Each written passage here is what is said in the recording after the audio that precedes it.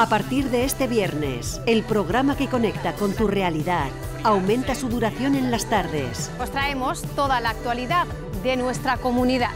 Conexión Aragón, de lunes a viernes en Aragón TV.